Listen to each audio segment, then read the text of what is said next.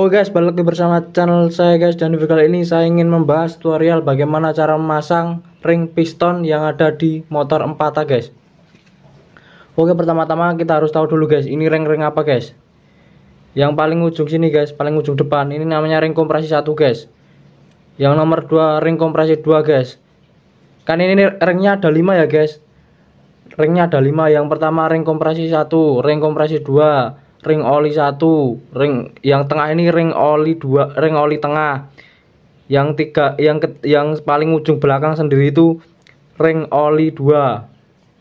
Oke cari ring kompresi satu ring kompresi dua ring oli satu ring oli tengah dan ring oli dua. Oke cara membedakannya gimana guys?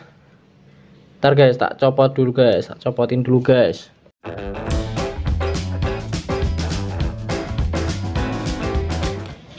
jadi gini guys cara membedakannya guys. Ring kompresi satu biasanya di sini di ujung sininya guys. Di ujung di ujung sininya tumpul guys di ujung sininya guys. Digesek-gesek pakai tangan ini tumpul guys. Ring kompresi satu. Jika ring kompresi dua biasanya digesek-gesek sininya itu anu guys apa? Tajam-tajam gitu loh guys. Jika sudah dimodif jika sudah tidak tajam di, sudah biasanya kan ada guys yang dimodif sininya. Supaya tidak tajam lagi itu biasanya kalau udah dimodif nggak bisa guys. Kita kita giniin nggak bisa. Tumpul biasanya sudah tumpul. Terus cara membedakannya gimana mas? Gini guys. Cara membedakannya guys. Ini kan beda guys. Ring kompresi satu sama ring kompresi dua. Ring kompresi satu agak putih guys. Biasanya agak putih. Kalau ring, ring kompresi dua biasanya kehitaman gini guys. Ada hitam hitamnya gini guys. Ada hitam hitamnya gini guys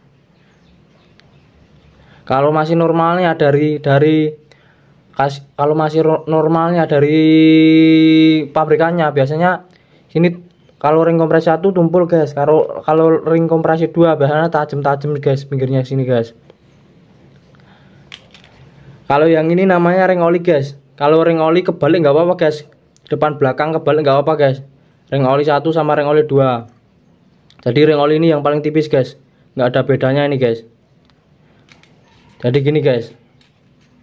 Ini kan di pistonnya kan ada in dan egg ya guys. Yang ini tuh atas guys. Yang egg itu bawah. Piston yang piston yang in ada di atas. Piston yang egg ada di bawah.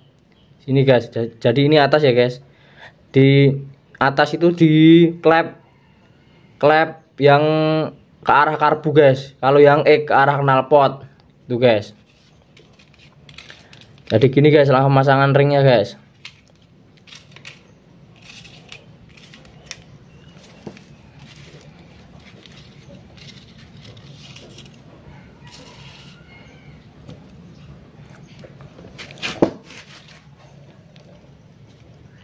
Misal ini kar ini pistonnya guys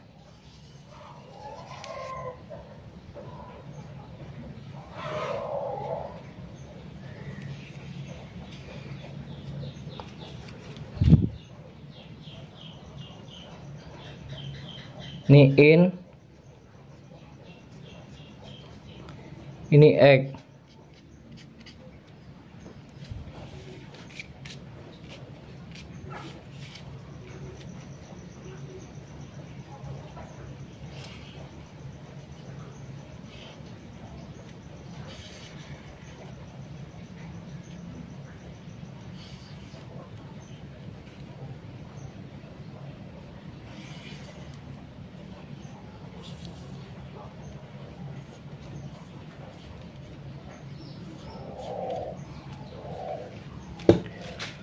jadi gini guys. Nah masalahnya guys.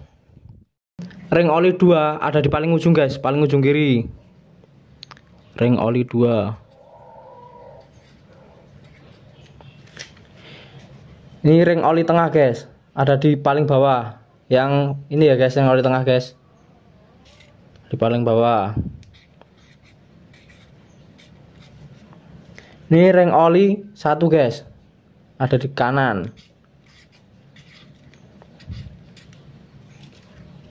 terus yang ini yang ada di kiri atas.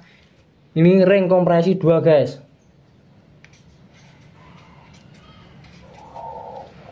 Terus yang ada di kanan ini guys. Ini ring kompresi satu guys.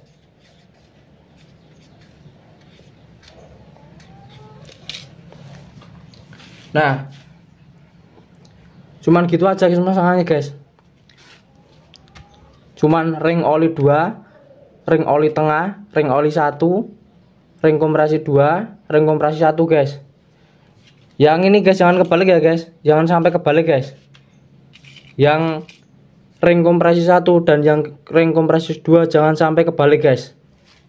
Kalau kebalik biasanya berakibat linernya linernya anu guys biasanya. Kalau pengalaman saya biasanya kalau kebalik linernya bisa kegores guys.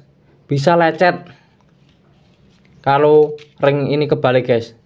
Jadi jangan sampai kebalik ya guys. Oh ya guys. Dan ini guys. Kalau pemasangannya ini harus di depan ya guys. Kan ini ada nomornya guys. Nah ini kan ada nomornya guys. Ada N75 gitu. Ini harus harus hadap sini ya guys. Nah, harus hadap sini guys pemasangannya guys. Harus sini nomornya harus ke depan guys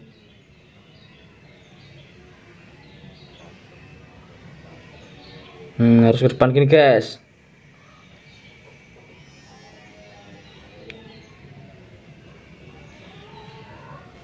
Dan oke cukup sampai di situ saja guys videonya. Jangan lupa share ke teman-teman kalian yang membutuhkan guys. Jika teman-teman kalian tidak membutuhkan jangan di share ya guys. Oke dan bye bye.